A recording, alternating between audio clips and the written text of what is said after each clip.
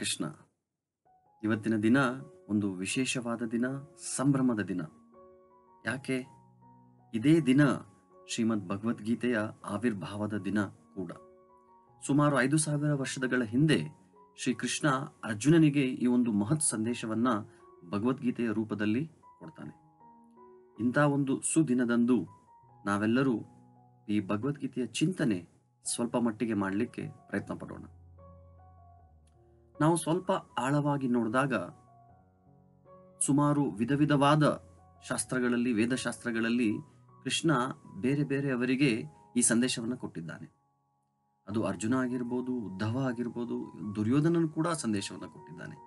ಆದರೆ ಕೃಷ್ಣ ಕೊಟ್ಟಿರೋ ಸಂದೇಶ ಯಾವ ಸಂದೇಶವನ್ನು ಭಗವದ್ಗೀತೆ ಅಂತ ಕರೆಯಲ್ಲ. ಆದರೆ ಕೃಷ್ಣ ಕೊಟ್ಟಿರ್ತಕ್ಕಂಥ ಸಂದೇಶ ಅರ್ಜುನನಿಗೆ ಏನಿದೆ ಅದಕ್ಕೆ ಮಾತ್ರ ಭಗವದ್ಗೀತೆ ಅಂತ ಕರೀತಾರೆ. ಹೇಗೆ ಇದು. ಉದಾಹರಣೆಗೆ ಕೃಷ್ಣ ಭಾಗವತದಲ್ಲಿ ಉದ್ಧವನಿಗೆ ಕೂಡ ಸಂದೇಶವನ್ನು ಕೊಡ್ತಾನೆ. ಆದರೆ ಅಲ್ಲಿ ಕೃಷ್ಣ ಸಂದೇಶ ಉದ್ಧವ ಗೀತೆ ಅಂತ ಪ್ರಸಿದ್ಧಿ ಪಡೆಯುತ್ತೆ. ಆದರೆ ಇಲ್ಲಿ ಕುರುಕ್ಷೇತ್ರದಲ್ಲಿ ಕೃಷ್ಣ ಕೊಟ್ಟಿರ್ತಕ್ಕಂಥ ಸಂದೇಶ ಅರ್ಜುನ ಗೀತೆ ಅಂತ ಪ್ರಸಿದ್ಧಿ ಪಡೆಯಲ್ಲ, ಆದರೆ ಭಗವದ್ಗೀತೆ ಅಂತ ಪ್ರಸಿದ್ಧಿ ಪಡೆಯುತ್ತೆ. ಈ ಒಂದು ತಾರತಮ್ಯ ಅಥವಾ ಗೊಂದಲ ಹೇಗೆ? ಹೇಗೆ ಅರ್ಥ ಮಾಡ್ಕೊಳ್ಳೋದು ಅಂತ ಕೇಳಿದಾಗ ಉತ್ತರ ಹೀಗಿದೆ. ಕೃಷ್ಣ ಉದ್ಧವನಿಗೆ ಕೊಟ್ಟ ಒಂದು ಸಂದೇಶ ಏನಿದೆ, ಅದು ಉದ್ಧವನಿಗೆ ಮಾತ್ರ ಮೀಸಲ್ಪಟ್ಟಿರ್ತಕ್ಕಂಥದ್ದು. ಆದರೆ ಕೃಷ್ಣ ಇಡೀ ಜೀವರಾಶಿಗಳಿಗೆ, ಇಡೀ ವಿಶ್ವಕ್ಕೆ ಕೊಡಬೇಕಾಗಿರ್ತಕ್ಕಂಥ ಸಂದೇಶ ಏನಿದೆ ಕೃಷ್ಣ ಮನಸ್ಸಿನಲ್ಲಿ, ಅದು ಎಲ್ಲರಿಗೂ ಕೊಟ್ಟಿರುವಂಥ ಸಂದೇಶ. ಆದರೆ ಅದು ಅರ್ಜುನನ ಮೂಲಕ ಅಥವಾ ಅರ್ಜುನನ ಮಾಧ್ಯಮವಾಗಿ ಬಳಸ್ಕೊಂಡು ಈ ಒಂದು ಸಂದೇಶವನ್ನ ಕೃಷ್ಣ ನಮ್ಮ ನಿಮ್ಮೆಲ್ಲರಿಗೂ ಕೊಡ್ತಾನೆ. ಸೊ ಇದು ಕೃಷ್ಣನ ಒಂದು ಹೃದಯದಲ್ಲಿ ಇರ್ತಕ್ಕಂಥ ಒಂದು ಆಸೆ ಏನಿದೆ, ಅದು ನಮ್ಮೆಲ್ಲರಿಗೂ ಕೊಡಬೇಕಾಗತ್ತ, ಕೊಡಬೇಕಾಗಿರುವ ಸಂದೇಶ ಅದು ಅರ್ಜುನನ ಮೂಲಕ ನಮ್ಮೆಲ್ಲರಿಗೂ ತಿಳಿಸ್ತಾನೆ. ಇದು ಇದರ ವಿಶೇಷ. ಮುಂದೆ ನಮಗೊಂದು ಪ್ರಶ್ನೆ ಬರ್ಬೋದು. ಈ ಭಗವದ್ಗೀತೆಯನ್ನ ಭಗವದ್ಗೀತೆ ಅಂತಾನೆ ಹೇಗೆ ಕರೀತಾರೆ? ಏನಕ್ಕಂದ್ರೆ, ಇದು ಭಗವಂತ ಹೇಳಿದ ಗೀತೆ, ಅದಕ್ಕೆ ಇದು ಭಗವದ್ಗೀತೆ. ಇದು ಭಗವಂತನ ಪ್ರಿಯವಾದ ಗೀತೆ, ಅದಕ್ಕೆ ಇದು ಭಗವದ್ಗೀತೆ. ಇದು ಭಗವಂತನನ್ನು ಕುರಿತ ಗೀತೆ, ಅದಕ್ಕೆ ಇದು ಭಗವದ್ಗೀತೆ. ಇದು ಭಗವಂತನನ್ನು ತಲುಪುವ ದಾರಿ ಹೇಳಿಕೊಡುವ ಗೀತೆ, ಅದಕ್ಕೆ ಇದು ಭಗವದ್ಗೀತೆ. ನಾವು ಈ ಭಗವದ್ಗೀತೆಯನ್ನು ಬೇರೆ ಯಾವ ವೇದಶಾಸ್ತ್ರಗಳಿಗೆ ಹೋಲಿಕೆ ಮಾಡಿದಾಗ ಈ ಭಗವದ್ಗೀತೆಯ ಅಸ್ತಿತ್ವ ಹೇಗೆ ಇರುತ್ತೆ ಅನ್ನೋದನ್ನ ಸ್ವಲ್ಪ ತಿಳ್ಕೊಳ್ಳೋಕೆ ಪ್ರಯತ್ನ ಪಡೋಣ. ಇಲ್ಲಿ ನಾವು ಬೇರೆ ಯಾವ ಒಂದು ವೇದಶಾಸ್ತ್ರ ಪುರಾಣ ಇತಿಹಾಸಗಳು ನೋಡಿದಾಗ ಬೇರೆ ಗ್ರಂಥಗಳಲ್ಲಿ ಲಕ್ಷ ಲಕ್ಷ ಶ್ಲೋಕಗಳು, ಹತ್ತು ಸಾವಿರ, ಸಾವಿರಾರು ಶ್ಲೋಕಗಳು ಇರುತ್ತದೆ. ಆದರೆ ಭಗವದ್ಗೀತೆಯಲ್ಲಿ ಬರೀ ಏಳ್ನೂರು ಶ್ಲೋಕಗಳು ಮಾತ್ರ ಇದೆ. ಇದರಿಂದ ನಾವೇನು ಅರ್ಥ ಮಾಡ್ಕೋಬಹುದು ಅಂದರೆ quantitatively Bhagavadgita is very very small ಅಂದರೆ ಗಾತ್ರದಲ್ಲಿ ಭಗವದ್ಗೀತಾ ಒಂದು ಚಿಕ್ಕ ಪುಟ್ಟ ಗ್ರಂಥ. ಆದರೆ qualitatively it is very very big scripture so ನಾವು ಗಾತ್ರದಲ್ಲಿ, ಗಾತ್ರದ ಮೂಲಕ ನಾವು ಇದನ್ನ ಹೋಲಿಕೆ ಮಾಡಿದಾಗ ಭಗವದ್ಗೀತೆ ಒಂದು ಸಣ್ಣ ಪುಟ್ಟ ಗ್ರಂಥ.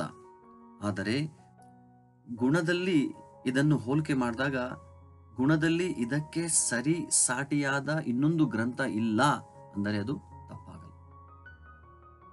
ಜ್ಞಾನದ ದಾರಿಯಲ್ಲಿ ಅಥವಾ ಭಕ್ತಿಯ ದಾರಿಯಲ್ಲಿ ಸಾಗುವವನಿಗೆ ಏನೆಲ್ಲ ತಿಳಿಯಬೇಕೋ ಅದೆಲ್ಲ ಇಲ್ಲಿ ಇದೆ ಭಗವದ್ಗೀತೆಯಲ್ಲಿ ಇದೆ ಈ ಭಗವದ್ಗೀತೆಯಲ್ಲಿ ಇಲ್ಲದ್ದು ಇನ್ನೆಲ್ಲೂ ಇಲ್ಲ ಅಂದ್ರೂ ಕೂಡ ತಪ್ಪಾಗಲ್ಲ. ಅದಕ್ಕೆ ಪ್ರಾಚೀನರು ಅಥವಾ ವೈದ್ಯ ಶಾಸ್ತ್ರಜ್ಞರು ಭಗವದ್ಗೀತೆಯನ್ನು ಒಂದು ಉತ್ತುಂಗ ಶಿಖರದಲ್ಲಿ ಇಟ್ಟು ಅದಕ್ಕೆ ಗೌರವ ಕೊಟ್ಟಿದ್ದಾರೆ. ಇದು ಒಂದು ಭಗವದ್ಗೀತೆಯ ಒಂದು ಚಿಕ್ಕ ಪುಟ್ಟ ಪರಿಚಯ. ಇವಾಗ ನಾವು ಭಗವದ್ಗೀತೆಯನ್ನು ತೆರೆದು ಅದರ ಒಳಗೆ ಏನಿದೆ ಎನ್ನುವ ಒಂದು ಚಿಕ್ಕ ಪುಟ್ಟ ಪರಿಚಯ ಮಾಡ್ಕೊಳ್ಳೋಣ. ಸೊ, ಒಟ್ಟು ಭಗವದ್ಗೀತೆಯಲ್ಲಿ ಇರುವ ಶ್ಲೋಕದ ಸಂಖ್ಯೆ ಏಳ್ನೂರು. ಅದರಲ್ಲಿ ಶ್ರೀಕೃಷ್ಣ ಹೇಳಿರುವ ಶ್ಲೋಕದ ಸಂಖ್ಯೆ ಎಷ್ಟು ಅಂದರೆ ಅದು ಐನೂರ ಎಪ್ಪತ್ತೈದು. ಕೃಷ್ಣ ಹೇಳದಿರುವ ಶ್ಲೋಕದ ಸಂಖ್ಯೆ ಎಷ್ಟು ಅಂದರೆ ಅದು ನೂರ ಇಪ್ಪತ್ತೈದು. ಈ ನೂರ ಇಪ್ಪತ್ತೈದು ಶ್ಲೋಕದಲ್ಲಿ ಅರ್ಜುನ ಹೇಳಿರುವ ಶ್ಲೋಕ ಒಟ್ಟು ಎಂಬತ್ಮೂರು. ಸಂಜಯ ಹೇಳಿರುವ ಶ್ಲೋಕ ಒಟ್ಟು ನಲವತ್ತೊಂದು. ಹಾಗೂ ಧೃತರಾಷ್ಟ್ರ ಹೇಳಿರುವ ಶ್ಲೋಕ ಒಂದು.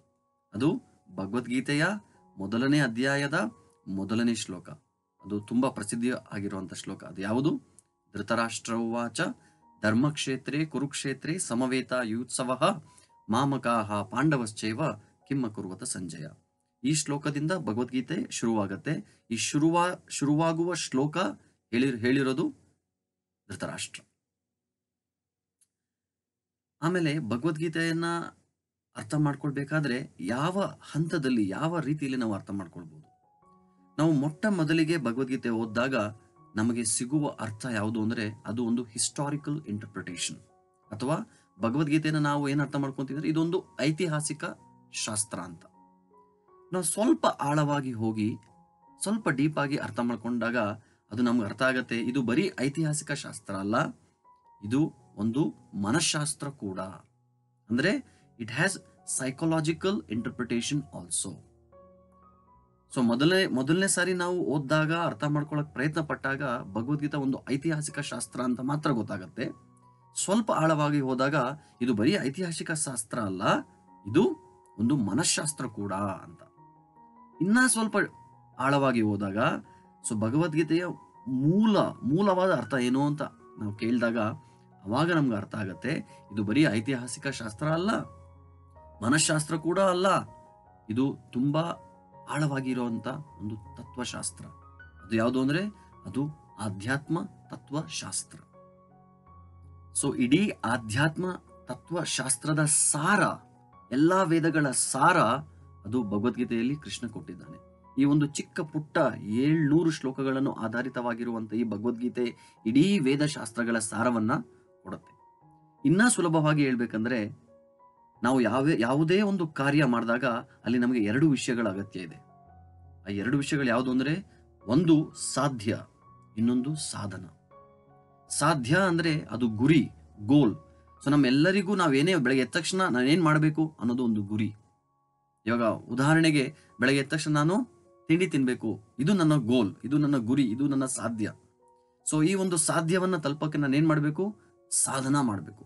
ಸೊ ಅಡುಗೆ ಅಡುಗೆ ಮಾಡಬೇಕು. ತಿಂಡಿ ತಯಾರಿ ಮಾಡಬೇಕು.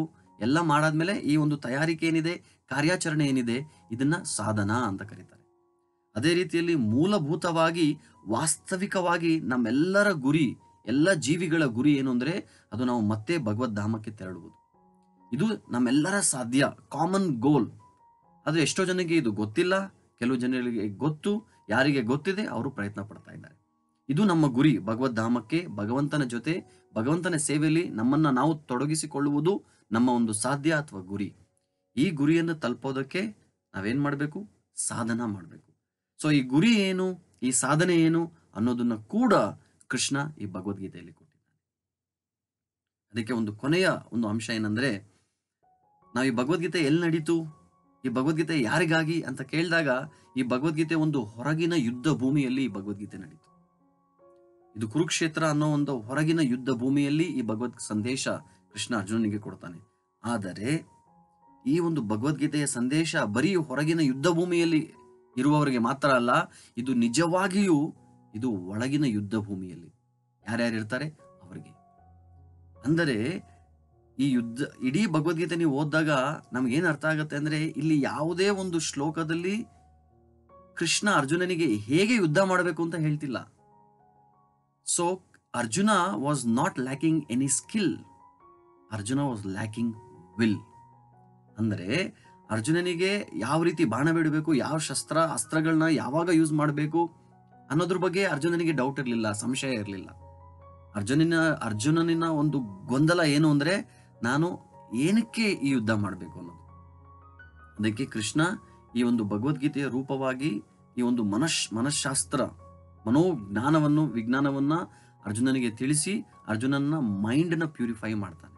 ಯಾವಾಗ ಭಗವದ್ಗೀತೆ, ಭಗವದ್ಗೀತೆಯನ್ನು ಅರ್ಜುನ ಕೇಳ್ತಾನೆ, ಶ್ರವಣ ಮಾಡ್ತಾನೆ, ಆಗ ಅವನಿಗೆ ನಿಜವಾದ ಜ್ಞಾನ ಪ್ರಾಪ್ತಿಯಾಗಿ, ಅವನ ಎಲ್ಲಾ ಸಂಶಯಗಳು ನಾಶ ಆಗಿ ಕೊನೆಗೆ ಅರ್ಜುನ ಭಗವಂತನಿಗೆ ಶರಣಾಗತನಾಗ್ತಾನೆ. ಸೊ ಈ ಒಂದು ವಿಶೇಷವಾದ ಸಂದರ್ಭದಲ್ಲಿ, ಇದು ಗೀತ ಜಯಂತಿಯ ದಿನವಾದಲ್ಲಿ ನಾವೆಲ್ಲರೂ ಭಗವಂತನಲ್ಲಿ ಪ್ರಾರ್ಥಿಸೋಣ.